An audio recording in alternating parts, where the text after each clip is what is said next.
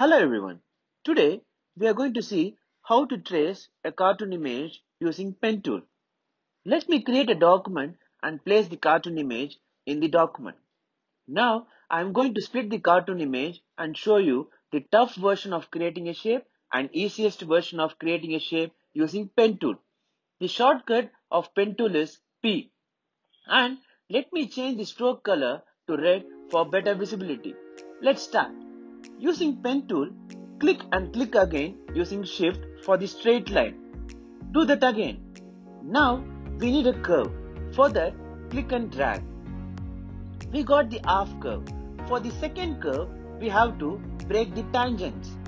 Using Alt and click, we can break the tangents. Again, click and drag, we will get the second curve. Break the tangent again to get a straight line.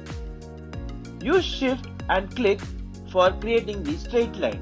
Left side of cartoon image outline is done. Let's continue and finish the right side too. Using pen tool, creating the straight line is the same process. Only creating the curve differ from each person working style. Now I have created a straight line for the curve. Add an anchor point in the center of the path. Use control and click drag the point. If you see there, we got the curve, but not perfect. Now you can use Alt and drag the tangents as I do. Till now, we saw two methods. The third method is, as I said before, add an anchor point in the path and click and drag the anchor point without using anything in the keyboard. You can see there, we got the perfect curve. Create the straight line using shift. Outline of the cartoon image is done. Let's create the inside shapes using pen tool. Let me trace the eyebrows. Let's decrease the stroke size for better visibility. Now have a look how I trace the eyebrows. We saw three methods for adding an anchor point and creating a curve. So these methods doesn't work for all the shapes. It depends upon the shapes and each person working style.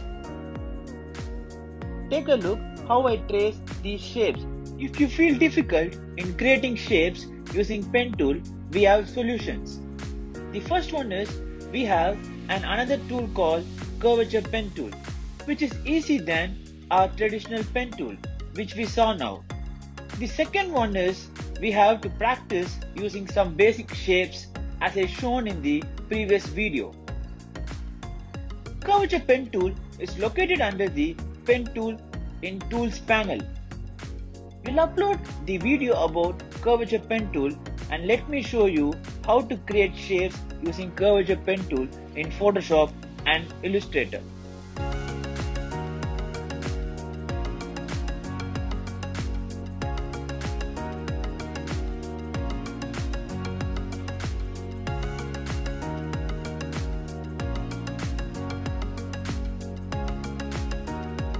And coming back to the pen tool topic, we can also use default shapes in Photoshop like rectangle, circle for creating cartoon images.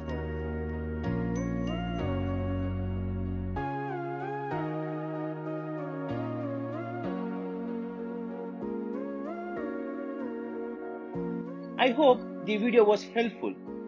All my videos will be in less timings, so pause and watch slowly. Thank you. Peace.